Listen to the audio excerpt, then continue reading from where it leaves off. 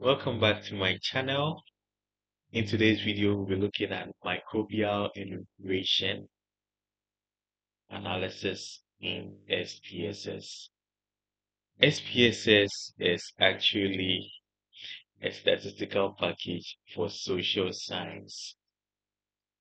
However, it's it's it's so interesting that we find a lot of even the um, analytical sciences trying to use SPSS to analyze their data.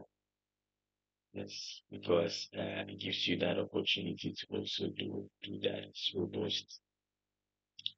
So we're using SPSS for descriptives and analysis of variance in this particular tutorial based on popular request by uh, some students. Okay, so let's do this.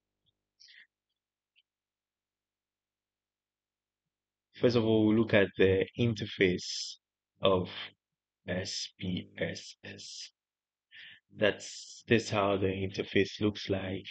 We have a data view and we have a variable view.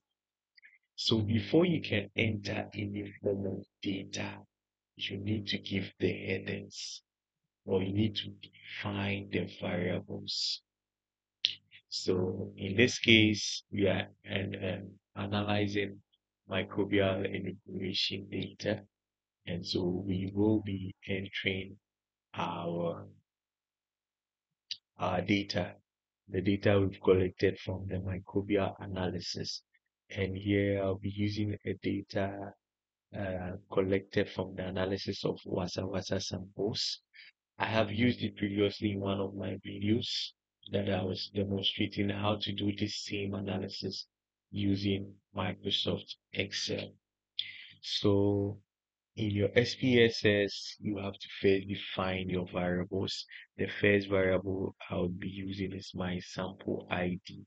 And notice that in SPSS, you cannot use the space bar when you are giving the name. So you need to use either the underscore or put it together. Once you try doing as an illegal character. So simple ID and I'm going to put my counts in block C. So my counts no, it's fine because I was trying to use the space. Now the decimal, I want two decimal place for the counts, but the sample ID, I don't need any decimal place. My counts is actually numeric. There are no values to it. I'm going to explain these parameters in, in, in a jiffy. So the name is the tag you give the sample. The type is the type of data. It can be numeric, it can be string, it can be uh, comma dot scientific notation, dates, and things like that. Then the width is how long your data will be or your characters will be. So, so are you going to type characters more than eight? Then you can increase this but I'm going to use numbers and the numbers will not be more than even two digits. So eight is okay. Do you want to have decimals after your numbers or you want to keep it at zero? Indicate it here. How do you want to label this? Is at this portion where you can put in your long list or long name with the space bar. So let me label this as my sample ID and this as my microbial load in log CFU per gram units. Actually, for this, you can use the space bar.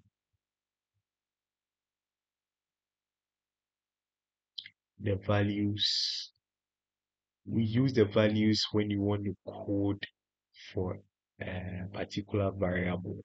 So in this case, we would have to code for the sample ID. I'll explain that shortly and the columns too is just like the width how uh, wide you are going to type in your columns then the alignment how do you want the some the the figures to be aligned should it be to the right to the left the center and the measure. Is it going to be a scale? Is it going to be ordinal or nominal uh, data? If you are not too sure, you can leave it uh, leave it like that. And then the row is an include. So my sample IDs in the data view, I want SPSS to see my samples as numeric so that I can analyze between them and, and so forth. Like analyze the different uh, samples I have. So in my data, I have three samples, WAM, WLM, and WCM. So I'm going to give those codes here another values. So value one is going to be WAM. Value two is going to be WLM. Value three is going to be WCM. That's my sample code. And I'm done with that. So I can now come to my data view to enter my data. Now the trick is this. It's sometimes uh, difficult when you are going to enter a lot of data because you cannot drag down in SPSS. So you can do all of that work in Excel and copy and paste it in SPSS. So let's see how I'll do it here. So I'm in Excel and supposing I have 20 data sets all being WAM, I'll just put the one at the two side and the 20 side and drag it down to fill it up. And now I can copy all of this into my SPSS. But thankfully my data is just uh, in duplicates. So I'm just working with one, one, two, two, three, three. And that is all.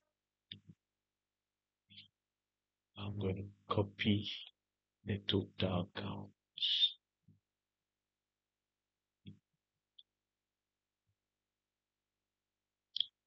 I'm copy it as values inside here. So one one is for the two two is for that, three three is for that. Notice something I did in the uh, in the in the in the SPSS. Notice that in the SPSS, when I was defining my variables, I made sure I had a sample ID and accounts, and that will appear as the headings here or the first row title. And so I can just copy the data I have in Excel in that same format and paste it in SPSS. And here we go. Remember, I made the counts have two decimal places. So let me try increasing it to four and let's see what happens here. I have the four decimal places. So that's the essence of it. Let me try increasing it beyond the eight and it can happen because the decimal place is too large for the field. However, I can increase this to 10 and then now I can increase the decimal also to uh, 10. Sorry.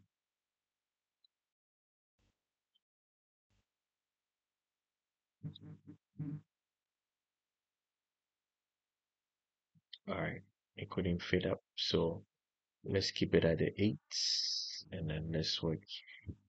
So now with our descriptives, we have some data here. I want to find out how the data looks like. So I'm going to go to so that's how the data looks like. One one two two seven point two one and all that. I'm going to analyze and I want the descriptive statistics. So yeah, I can have the frequencies and I can have the descriptives, but I want descriptives. So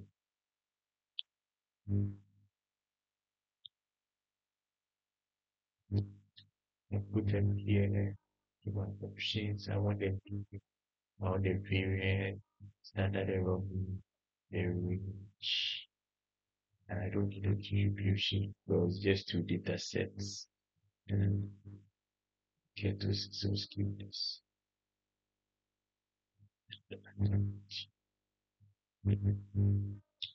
So now here are my descriptives. Sample ID. Uh, we have six uh, samples in all.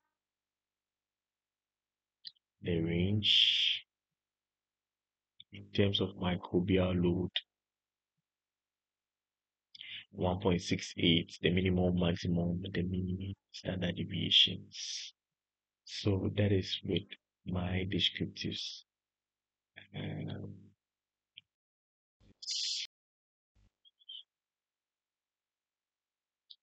yeah so this this that descriptives was just describing uh, the values you have in a sample id and then the counts but actually we want to describe um, the samples as in WAM and not the uh, numbers or parameters we have here. So can still analyze and then analyze that under our ANOVA def, descriptives and ANOVA. So with ANOVA is an analysis of variance. We're comparing means. So we go to compare compare means one way ANOVA and then um, so we can put our sample ID at the factor and then the dependent list is the response. So when you go to options, you can select the descriptive if you need that. The means plot if you need that, but we want just the descriptives. And then go to OK. So now these are our counts. And then the various samples WAM, WLM, WCM,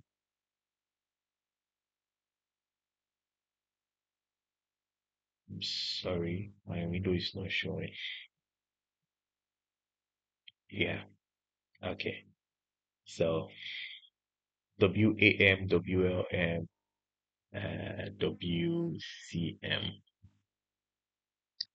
And then uh, we have our mean as standard deviation, standard error, lower bound, upper bound, minimum, minimum and maximum. And the ANOVA table is here. Uh, you can compare this to what we had in the Excel, and I am sure it's the same thing. The mean square, the F statistic, and then the significance, which is the same as the p-value. So is this p-value that you compare to your 0.05 and tell whether it's significantly different or not. In this case, it's less than 0.05 at 95% confidence. So there is a significant difference between sample WAM, WLM, and WCM. Sorry, another table.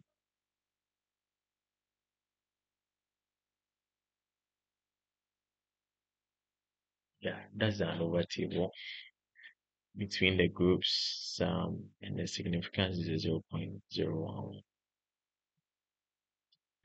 All right, so if you drop it in the, you can drop it in the comment section and then in uh, subsequent videos, try and then answer those questions.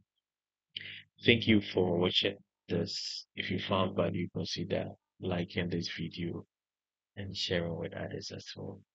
See you in my next video.